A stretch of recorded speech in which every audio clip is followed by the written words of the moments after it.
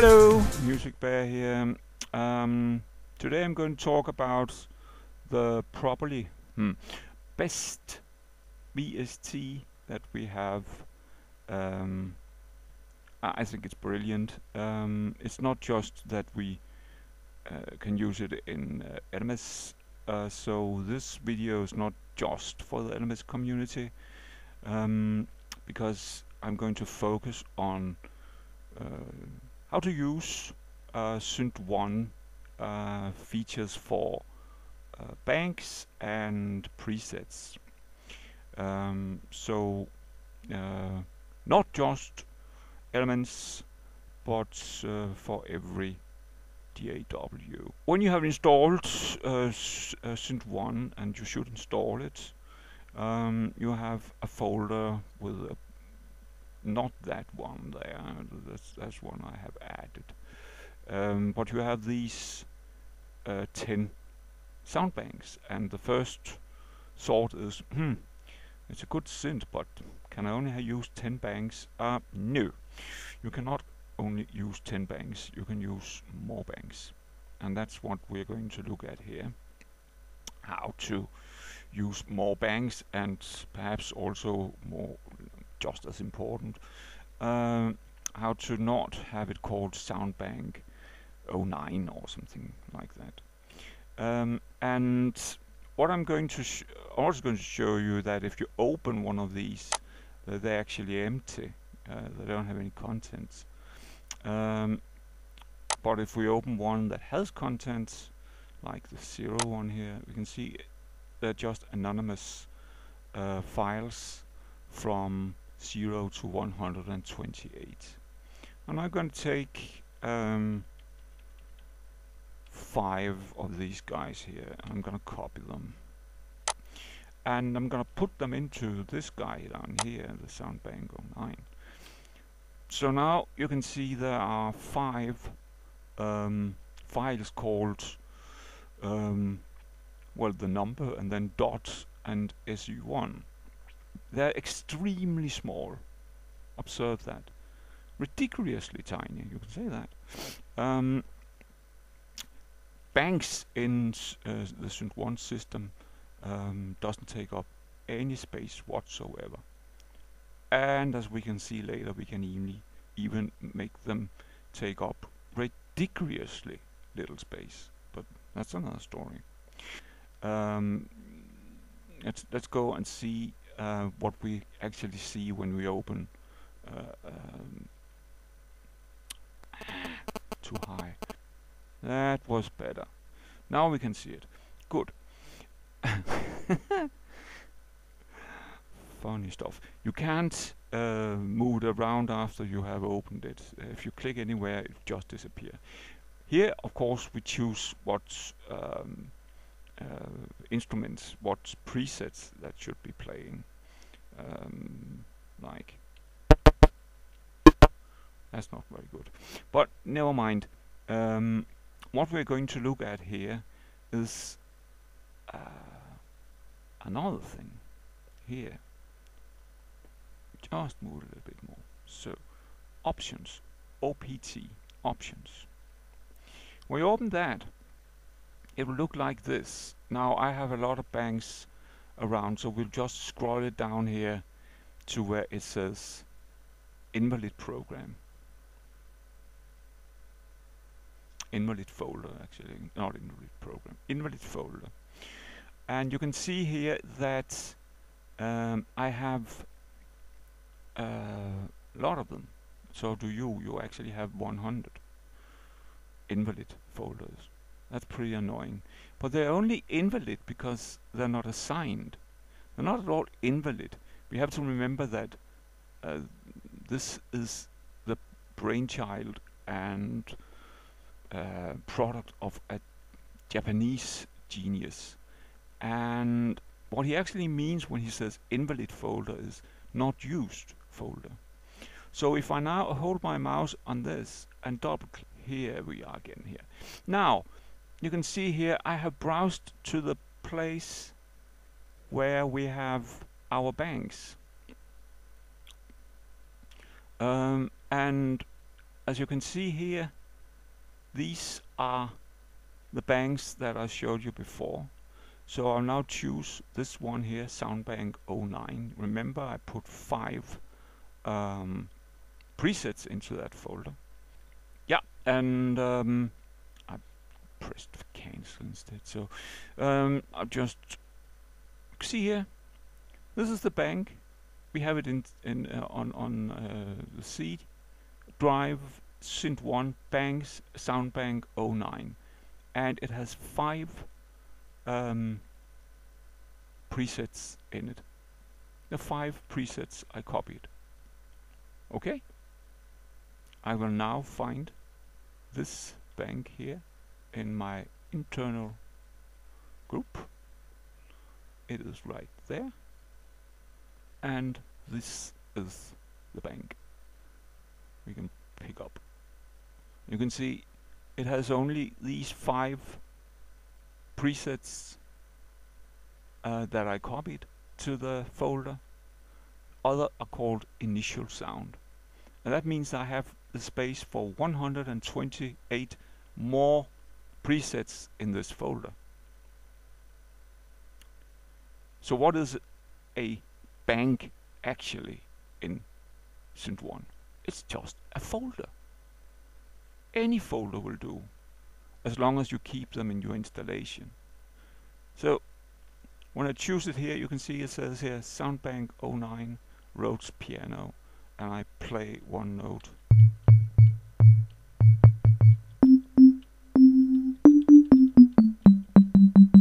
So if we go back to this guy here, where we have our uh, uh, our installed banks, and create a new folder and call that here my new synth one bank. Um, well that was its name here and we open it. It's of course empty. But then we can just take another bank and we can say mm, heps and copy. And we can go in here and we can put them into my bank like that. And we can go up. And now we go to synth 1 and we'll go to our option. And this time we are going to make a registration for just gonna make it on top of that. You see this was the one I made just before right? But now I'm going to um, assign the bank that I gave my own name not soundbank 09 but I'm gonna assign it to the folder I just made. And that is the folder there. And oops I'm going to check it up here. See? My new signed bank. Okay and okay and now when we go into here and say here we can find my new sound bank and we can pair the same um,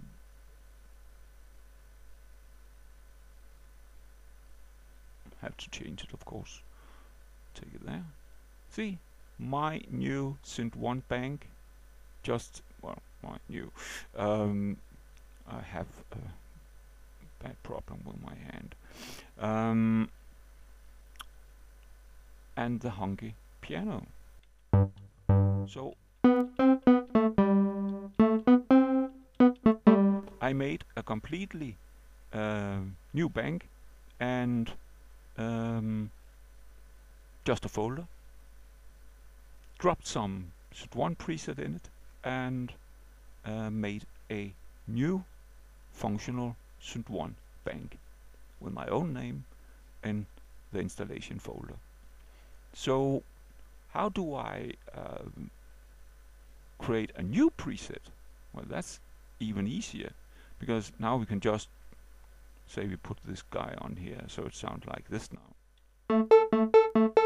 and I'm gonna I, wanna I wanna save that So I'm going to say, I'm going to write, and I get this guy here up, and say, I'm not overwrite the program that exists. I'm going to overwrite something that is free, like this guy here, initial sound, and I'm going to call it, because I made it out here, ARP.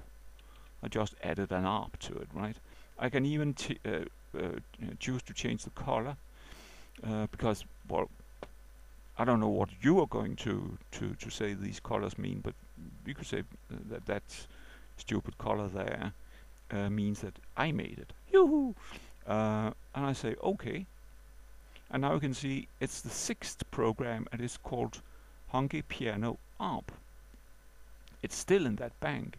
But I could have, I could have chosen to write it in another bank. Because I have all these options. If I choose to write it in another bank, um, I, I, have initiated a new bank with a new preset. Uh, I'll not do that now. So these 100 banks are there for um, just being uh, assigned and used as your own folders. I just say cancel to that guy. So you have not 10 banks with stupid names. You have 100 banks with any name that you would like. Actually, you have much more. And that's what we're going to look at now. So just move down here. Um, and open here. We had internal banks, we had external banks. And the external banks points to something called test bank zip 128. Now, what is that then? This is a look, if we take a look at our um, installation again, we have a folder called zip banks. If I open that, you have a folder here called test bank zip. Right? That is just a folder with Synth presets that has been zipped. Just point to it and say send to zip, right? Okay. In Synth 1, I can go to, take it up here again. I can go to here and say external banks. And I can choose this test bank zip 128 it means that it has 128 preset mates. And it'll open it. And I can choose here for, for instance something called Guitar Hero and you can see now that external bank test bank zip Guitar Hero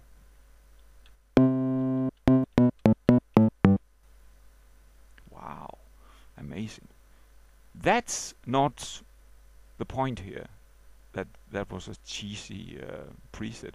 The point here is that you have unlimited number of banks if you zip them because it can take any number of zipped bank and use them just as easy as if they were um,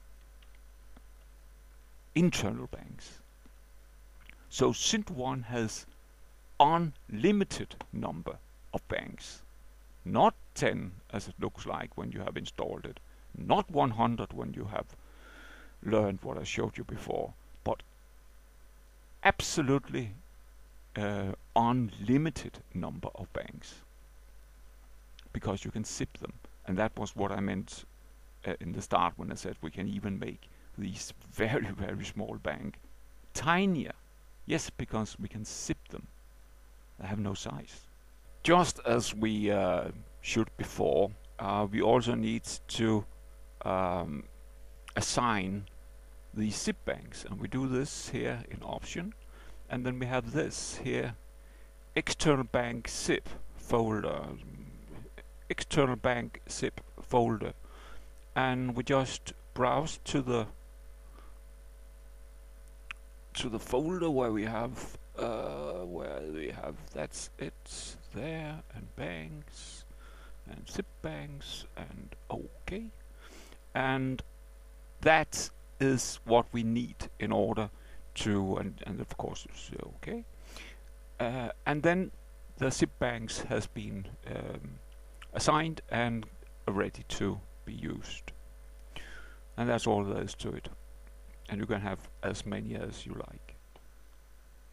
So Synth 1 is enormously uh, user friendly um, that was how to make banks and manage banks and make presets and manage presets in Synth 1 uh, in any DAW.